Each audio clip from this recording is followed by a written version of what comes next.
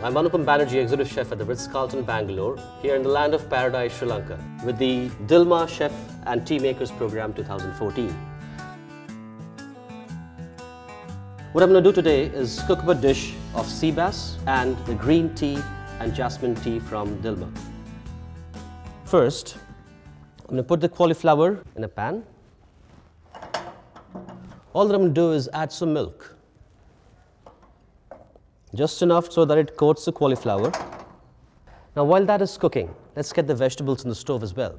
Uh, what I've done here beforehand is I've just marinated these vegetables with the decoction of the green tea.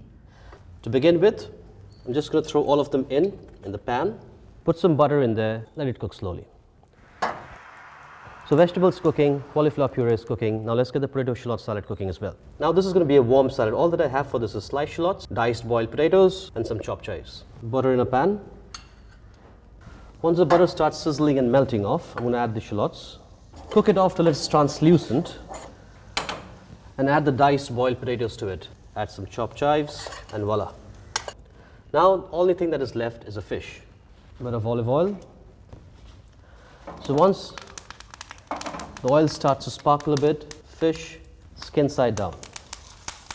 Just let the fish be on the stove on a slow fire, let it cook easily, let the skin crispy up a little bit, and then you turn it the other way around, and then cook it the other way around as well.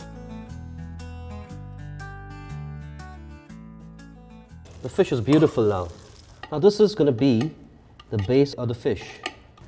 Potato shallot salad, small ring, take it out, nice and round.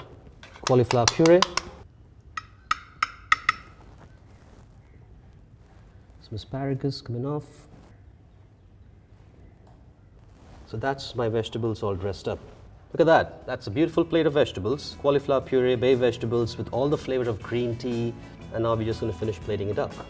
My beautiful fish. Lay it on the plate. Voila! Potato shallot salad, sea bass, cauliflower puree, and of course, Dilmah green tea with jasmine flavor.